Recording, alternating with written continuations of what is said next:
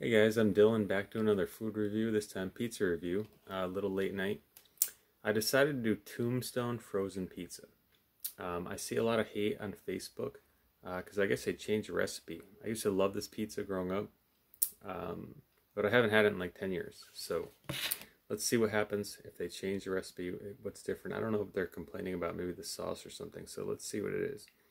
Nice and crispy, that's up to you of course, how you bake it. You know, I put it right in the rack uh, so it's nice and crispy. That's what is recommended. Pepperoni pizza.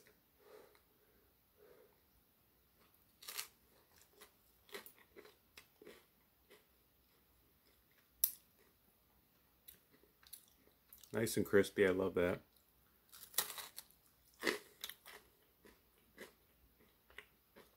Good pepperoni.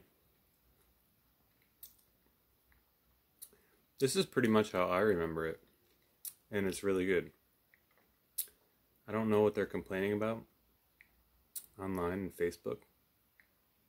Um, I don't know if it's the sauce or what what's different.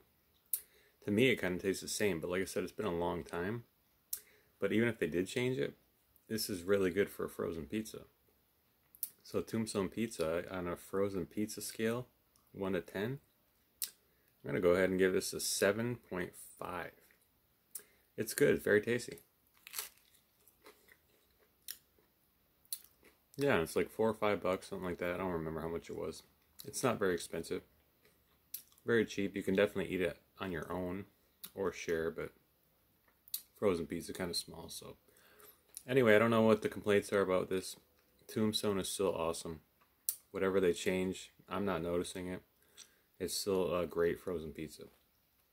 So that's a review, 7.5. If you like food reviews, I do them every weekend, and I'll catch you guys later.